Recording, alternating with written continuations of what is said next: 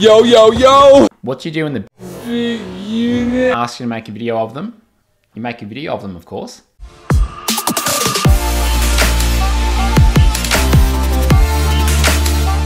Hey, Brenton here. Welcome back to the Effortless Swimming YouTube channel.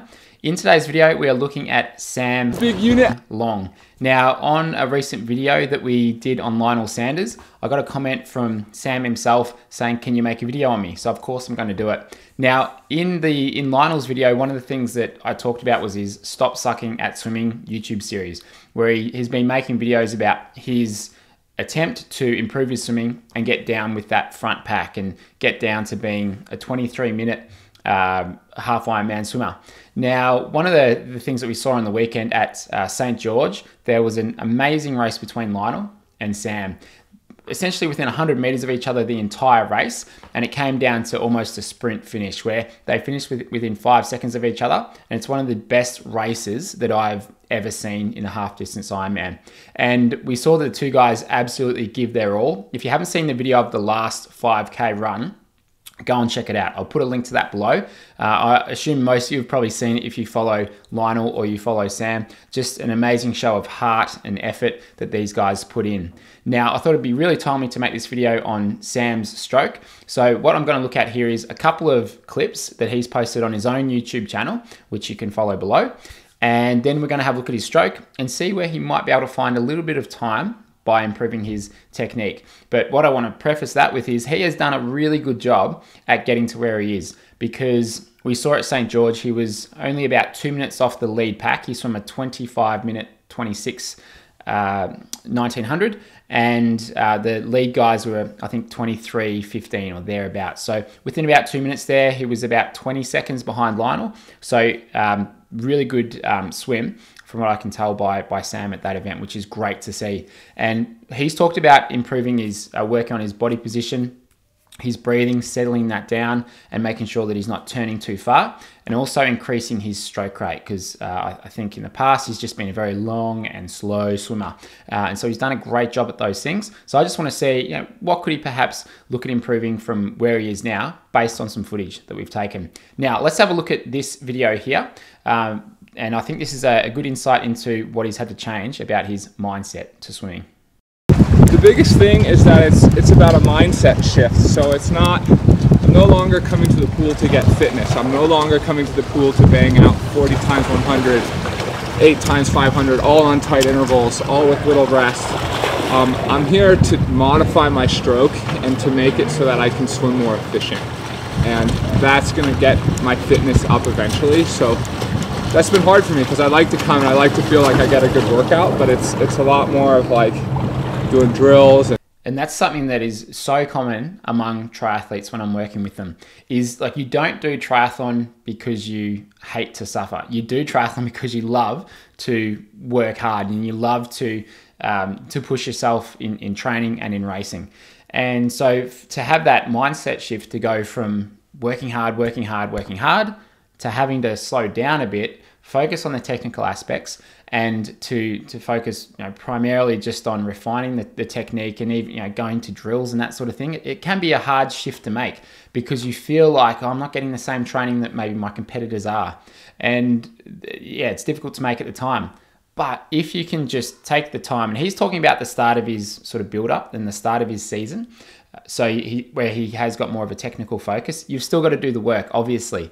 But particularly at the start of the season, by slowing it down and and focusing on the on the technique side of things, that's what's going to help you uh, improve going forwards. Because most people, if they're training at his level, it's not the fitness that's really going to change. It's the the technical part of it that's going to make the biggest difference. Because he's probably just you know probably hit a wall with his current technique that's stopped him from going faster. And so it does take some time to rewire the brain and rewire um, those those motor patterns in order to, to make them more efficient for swimming. So um, it's worthwhile doing. And yeah, it can sort of suck and it can go against what feels like needs needs to be done. But more times than not, it's, it's what I've seen uh, that's helped people get better. So it's um, it's good to see him um, slow down and take that approach. What are you thinking about while swimming? Oh I, I think it's like a sensory deprivation chamber, so my mind just wants to wander off and think about how fast of a runner Morgan Pearson is or how I have to race Lionel Sanders or blah, blah, blah, blah, blah. But instead, I just try and focus on my mechanics. And, and I keep saying it, but the big three for me, it's body position, it's a good, strong finish, and then it's uh, getting my breath under control. So I spend a lot of hours of the day thinking about those three little components. Um, yeah, so that's that's one of my favorite things about swimming is there's no other things to listen to. You can really just go deep into how you're feeling, and you yeah your mind might wander off a little bit, but you can really just center in and focus in on uh, on the stroke. And so for him, it's good. He's kept it simple with three things, and he's done a really good job at those three things. If we look at his body position, which we will in a moment, he's sitting nicely in the water. Um, his breathing's come under control because in some videos he's talked about that he used to turn too far, get a big gasp of air, and then come back. And so if you can settle your stroke in a way where it comes always comes back to your breathing, then that is how you'll be able to sustain your effort throughout a, a longer swim. I was listening to a uh, an interview recently with Andrew Lauterstein, who's a bronze medalist. He uh, got third to uh, Michael Phelps in the 100 butterfly at the Olympic Games, and he said that his coaches said to him in the final, before he started the final, is don't try too hard. Now you're thinking, all right, it's the Olympics, you want to go out, you want to work hard. But with butterfly, it's very much a timing stroke where if you get the timing right, you're going to swim well. And so it's very easy to rush it and, and lose your timing. But, you know, freestyle eh, is not too much different. It is very much about the timing and the rhythm. And if you try too hard, you're going to not only have your heart rate up and it's going to be harder to sustain that for longer but you'll also find that your timing will come out. So it's very hard to kind of sit sit at that level where you're putting in effort but you're not sort of you know, spinning the wheels. So uh, it's good to be able to focus on the breathing and make sure that stays under control because then you have uh, a lot more options throughout the race and you're not just going to uh, burn all, all of your candles straight away. The challenge and the pursuit of excellence in the water is is it's just an absolutely amazing thing to be committing myself to. And uh, like I care more about this than I said like the bike or even the run because it's like those have always come pretty naturally to me. And this is like I have to every single second I get faster, I've earned, you know. And that's it's hard, but it's also at the end of the day that's the most rewarding thing you can ever ask for in that interview there, if you watch the, the whole thing uh, in, in one of his episodes there, he gets he gets quite emotional when he's talking about um, what he's going through when he's improving his swimming. Um, because as he said, his bike and his run becomes really natural, and so the swimming is just something that he's really had to concentrate on, but also just be very humble about. And I see it a lot at clinics and working with people all the time. Like for a lot of people, there's there's shame attached to their existing stroke. And you might hear that and think, well, why would you be ashamed of what like your, your technique? But you know, for a lot of people, they've maybe swum for a long time and they know that their stroke's not efficient, but they've never taken the step or taken the jump to maybe have it analyzed or to, to work with someone. And that can often be if they've had a coach who's told them like you suck, you, you're like your stroke's no good, you're inefficient, and they haven't actually shown them a way to change it. They've just told them how crap they are at swimming. So there can be a lot of shame attached to, to that. And with Sam, like he's swimming with a lot of very quick and very good swimmers, swimmers that are, better than him. And so for him to come in as a professional triathlete, he's probably the fittest guy in there. You know, he's, he's got to be quite humble about where he's at. And so there can be some, um, often some, some shame attached to how people are swimming. So if, um, and that's why I think I, you know, you see him in this, this interview. He does start to tear up a bit um, if you watch the whole thing. And it's uh, what I like about this is he's open and he's honest about it. And it's great to see someone at, at his level, similar to Lionel, where he's he's ha- he's happy to share that. And I think that's what makes it such compelling viewing. So uh, I really appreciate that he's able to to share that and um, and articulate it in a very good way there. So um, let's have a look at, um, at Sam's stroke. And I'm just going to focus on kind of three things where I, I, think he may be able to, to improve just based on the footage that I can see in his uh, YouTube channel.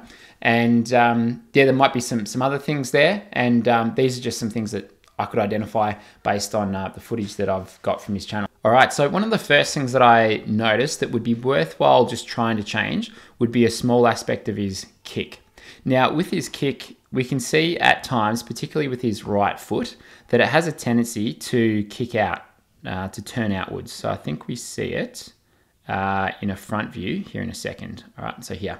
So if we have a look at, at this here, you'll see that at times, if you're looking at the right foot here, it has a tendency to turn outwards right now, there. So you can see that turn out of the foot. Now, it, it, it doesn't make a massive difference, but it makes enough of a difference. So what we want to try and do with the feet is we want to keep them you know, roughly pointed and turned slightly inwards instead of turning outwards, which is happening right here. And one of the reasons for that is that if the foot turns outwards, it obviously increases the, the drag compared to if the if the foot was turned in because if the foot stays remained in it will stay roughly within the line of the body but if it turns out it comes outside of that and acts as a bit of drag and it, we know it doesn't look like much but all that little bit of drag starts to add up especially over the course of a half Ironman swim and the same thing happens a bit on his left hand side and there is a shot of it that I want to show you here where we did see it turning outwards so I'm just going to check it out here it's one of these side ones here. Okay, so there we go. So you can see it here. That left foot turns out to the side. So you can see the toes are pointed like right off there. Now it's okay for them to like, they're not going to point, we don't want them to point down obviously, but we want them to point a bit more back behind him instead of um, out to the side there. So that's what we want to try and just, just eliminate, keep them turned inwards.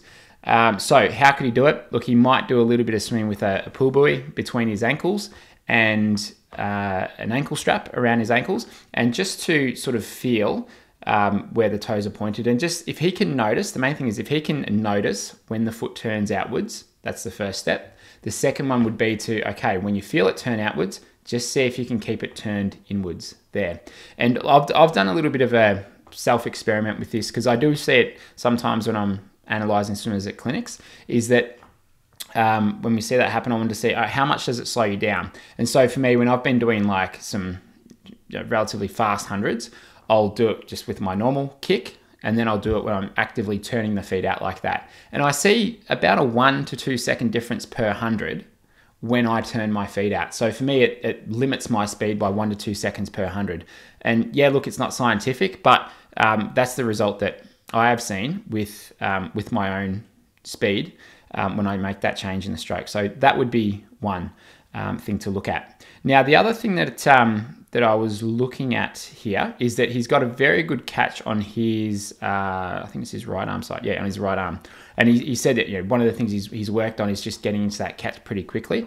So I really like what he's doing here. He's, he's getting a nice catch there. That's a, that's a good armful of water um, that he's that he's got. So great, great job on that right hand catch. I really like that. And when we look at the front on view, you'll see that in terms of the angles, it also looks great. Like there at the end of the catch, if we measure that angle from there to there, the angle that we want is 100 to 120 degrees.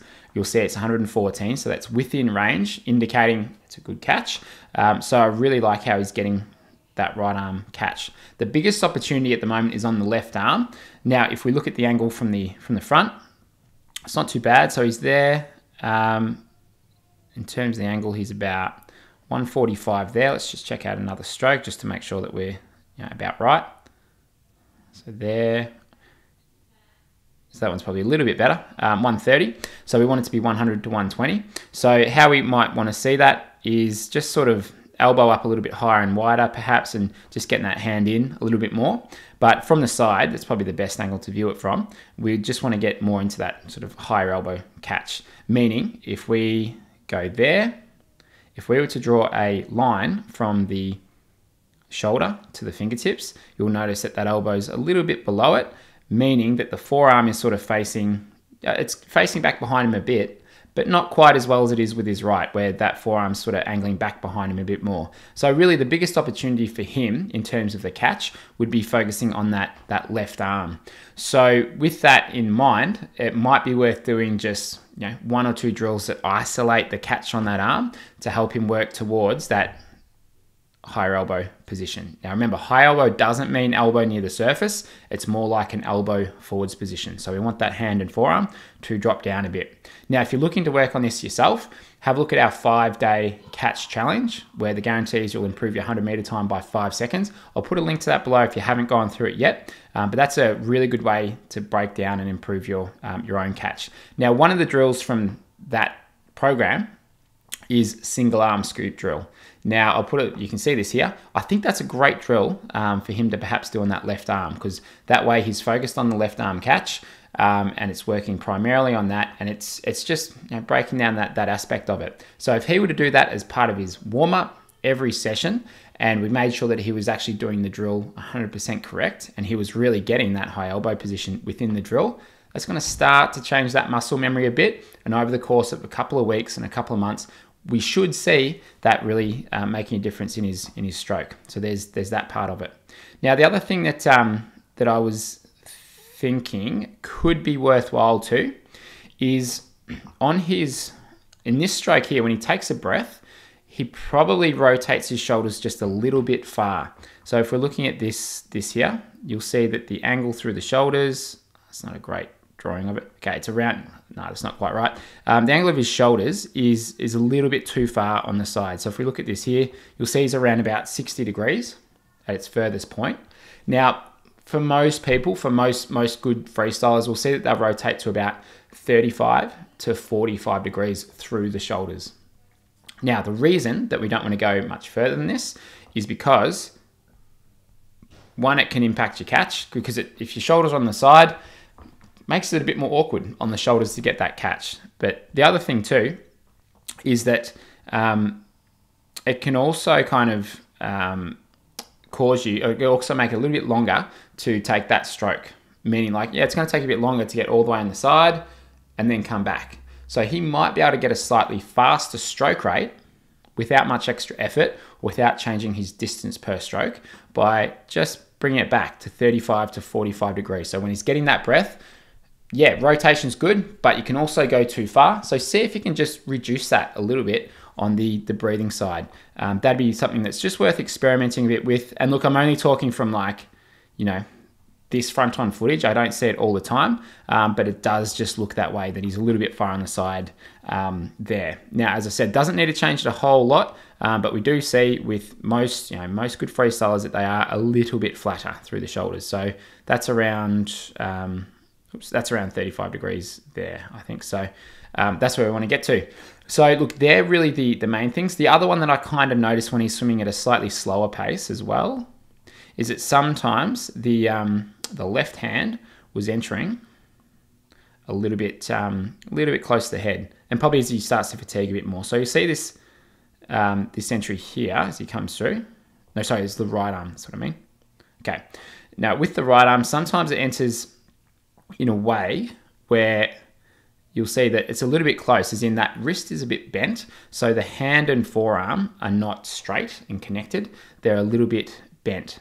So if he is able, oh, and so when he's able to keep the hand and forearm together, which he does on some strokes, he maintains the speed a whole lot better. Because what happens when you enter too close here is that it's sort of like you you don't put on the brakes, but it slows you down because you're pushing against that oncoming water because the hand ends up act, you know, acting as a as, as a brake. it creates the drag. Whereas if you can enter, um, you know, kind of like he is with that left one, how that's together, that's a better entry. And if I play this in normal speed here, see how it kind of slows down when that right hand enters because it enters that little bit early and we can see that like a little bit of a bend in the wrist. Now, look, of all the things, that's going to probably have one of the least um, impacts on his speed. I'd focus mostly on the catch, but if we're looking at one percenters, that's certainly one of them. Just making sure that we enter hand and forearm straight together and um, perhaps that little bit further out in front on that right hand side at times. When he's going faster, it seems like it's pretty good. It's just when he's going a bit slower, it seems, or when he's fatigued, that seems to happen. So um, they are really the the main things that I'm able to to spot there. And look from the front, you might notice there's a bit of crossover and that sort of thing. But look, um, of all the things, um, yeah, I think those main ones are the ones that I've I've mentioned. So hope you enjoyed that um, that video of Sam. If you're not if you're not following his channel, go and follow him. Um, an athlete really similar to Lionel in terms of is willing to share it all. trains his ass off um, from what I can can see, and um, and seems like a really genuine and good guy. And I really want to see him succeed um, with the swim, and so that's why I appreciate guys um, guys like him making these videos and sort of pouring their heart out about um, what they're going through in order to improve it. So um, appreciate him making those videos and sharing that stuff. And uh, if you did enjoy this video, please subscribe. And uh, yeah, we make videos on uh, improving your technique. So uh, if you enjoyed this, then please subscribe, and I'll see you next week with a, another video.